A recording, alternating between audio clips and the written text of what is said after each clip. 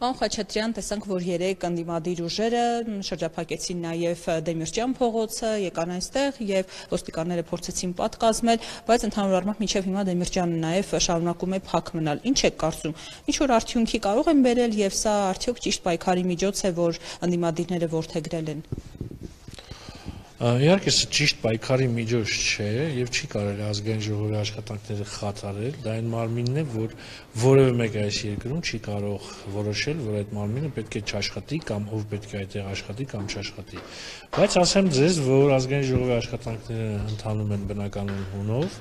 բնականոն ռեժիմի մեջ եւ ես եւ մեր գործընկեր падգամավորները այստեղ ենք, առավոտվանից ինչպես միշտ աշխատում ենք եւ որևէ մեկ այս երկրում չի կարող խոչ խոչընդոտել մեր աշխատանքները ինչ վերաբերում է որ ցուսարարները հայտնվեցին Դեմիրճյան փողոցում եւ ոստիկանները չխոչընդոտեցին դրան, պետք է ասեմ, որ եթե ոստիկանները ուզեին, ապա հաստատ թույլ չէին տա, եթե որոշում կայացներ, որ ազգային ժողով Դեմիրճյան փողոցը պետք է ցուցարարները չմտնեն, հաստատ որևէ մեկը այդտեղ չէր մտնի, դա միանշանակ։ Ուղղակի այս պահի դրությամբ ոստիկանները անդուժողականություն եւ այսպես ասած մեծահոգություն են դրսեւորում եւ քաղաքական այս գործընթացներին անդիմությանը փորձում են հնարավորինս արգելքներ չստեղծել, սակայն եթե էքսցեսներ, սահմանազանցումներ, սահմանազանցումներ լինեն, իհարկե ոստիկանությունը արդեն հասնելու է գործի եւ հանդուրժողականություն կամ այսպիսի մեծահոգություն չի լինելու։ Այդ առումով կոչ եմ անում Մանուկյան Վազգենին, զսպվածության եւ կոչեր հնչեցնելուց առաջ սառը դատողություն, սառը դատողությամբ անցկացնի բոլոր այն մտքերը, որոնք պետք է հնչեցնի, հակառակ դեպքում հաստատ որոշակի հետևանքների պատասխանատվությունը կընկնի իր վրա։ Ամեն դեպքում ոստիկանությունը հանդուրժողականություն եւ մեծահոգություն է դրսեւորում եւ եթե անհրաժեշտ լիներ, ապա որևէ մեկը Դեմիրճան փողոցում չէր հայտնվի։ Ազգային ժողովի աշխատանքներն են ընթանում են բնականon հունով։ Տեղեկություններ կային, որ գիշերը, օրինակ մոտավորապես ժամը 4-ին պետք է ոստիկանները ուժով հեռացնեն ցուցարարներին Դեմիրճան փողոցից, դա տեղի ունեցավ փաստորեն։ Դուք ունեիք արդյոք նման տեղեկություններ եւ ինչ եք կարծում սա այս պահին կլիներ, ինչ որ լուծման տարբերակ, երբ ասում եք, որ փորձում են նաեւ խոչընդոտել աշխատանքը։ Նման որոշման մասին ես որևէ տեղեկություն չունեմ, կարծում որ նման որոշում հաստատ չի եղել։ Դա էլի տարածված ապատեղեկատվություն է, որ ուժով պետք է հերացնեն ցուցարարներին, նման որոշում չկա, բայց կրկնում եմ, եթե հանկարծ պետության նորմալ գործունեության հետ կապված խնդիրներ առաջանան, ապա իհարկե կդիմվի նաև հարկադրանքի միջոցներին։ Այս պայդրությամբ նման կարիք չկա, կարծում եմ, եւ ազգային ժողովը իր ֆունկցիոնալ պարտականությունների մեջ։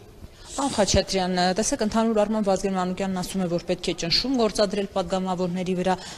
պետք է կոտրել Փաշինյանի հենարանները եւ կարծում է, որ վերջին հավաքը մարտի 1-ին ցույց տվեց, որ այլևս առաջվա աջակցությունը Փաշինյանը չունի։ Հիմա այս մասով, երբ ասում է պետք է падգամավորների վրա մենք ճնշում գործադրենք ամեն կերպ, ինչպես կարձագանքեք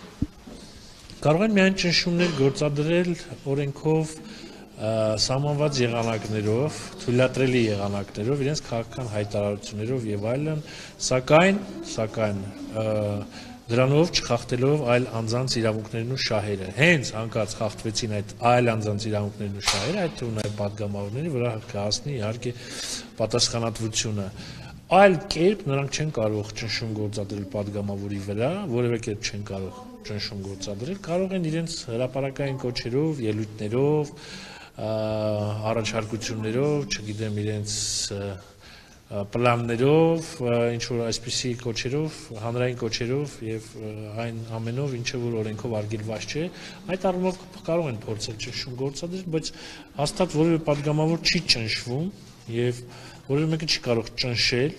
այլ մեթոդներով եւ եթե Վազգեն Մանուկյանի պատկերացումները այլ են ճնշումներ գործադրելու մասին խորհուրդ կտամ ուղղակի կրկնում եմ սառը դատել այնուհետև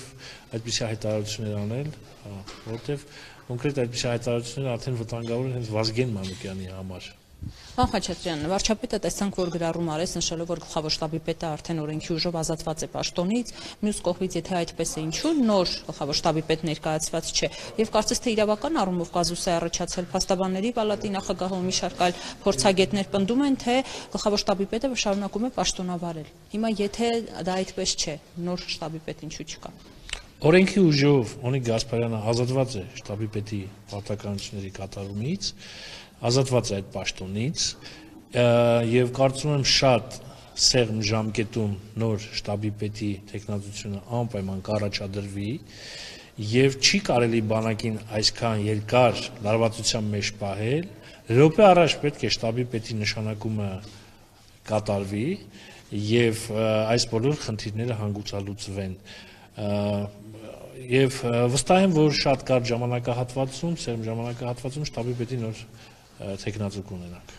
Եվ այս իրավիճակում, այսինքն երբ նաև ռազմական դրություն է, իսկապես չեք կարծում, որ պետք է ավելի արագ լուծվեն այս խնդիրները, ինչը կարող է նաև բանակի համար հենց ստեղծել որոշակի հարցեր խնդիր։ Իհարկե, իհարկե, այս դրության մեջ 1 ժամը, 1 օրը այսպեսի լարվածության մեջ պահել բանակը իհարկե հանդուրժելի չէ, եւ սա պետք է գիտակցեն այն պաշտոնյաները, որոնք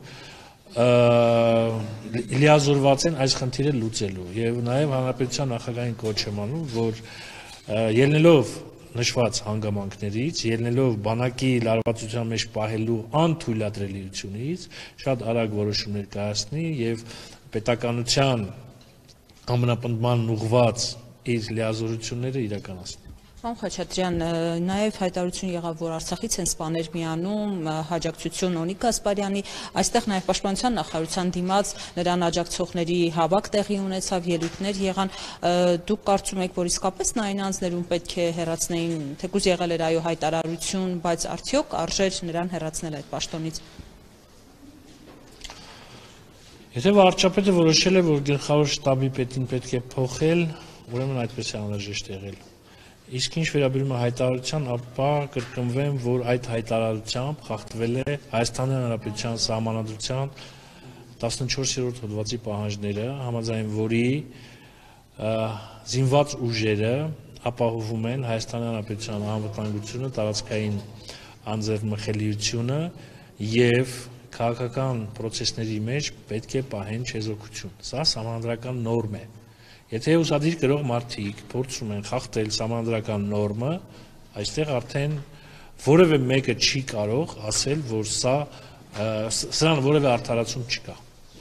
Ինչ վերաբերում է 120 հոգուն, հա, դուք ասեցիք, ապա ես տեղեկատվություն ունեմ արդեն, որ այդ 120 հոգուց մի մասը իրականում չկան վաղուց չեն աշխատում, նույնիսկ մարդիկ կան, որ կենթանություն մահացել են, այդպիսի մարդիկ էլ կան, որ մահացել են, սակայն այդ ցուցակում հայտնվել են, առայժմ ճշտվում են այս տվյալները, ես ավելի հանգամանալից այս մասին կխոսեմ հետո, եւ փաստորեն այդ ցուցակի մեջ մի շարք կեղծիքներ կան արած, որ այդ մարդիկ ընդհանրապես կապ չունեն, տեղյակ չեն, նույնիսկ մահացած են, սակայն իրենց անունը հայտնվել է այդ ցուցակում։ Այս պայծրությամբ պետք է ասեմ, որ